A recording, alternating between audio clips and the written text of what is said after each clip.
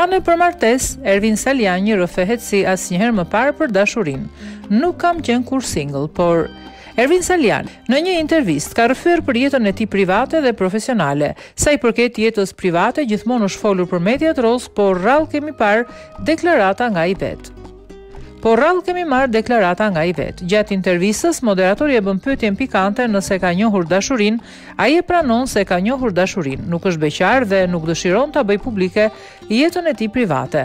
Unë nuk kam qenë asnjëherë single, unë nuk kam qenë ndonjëherë në situata ku kam pritur të kem një lidhje personale për të dalë dhe për të bërë show mediatik.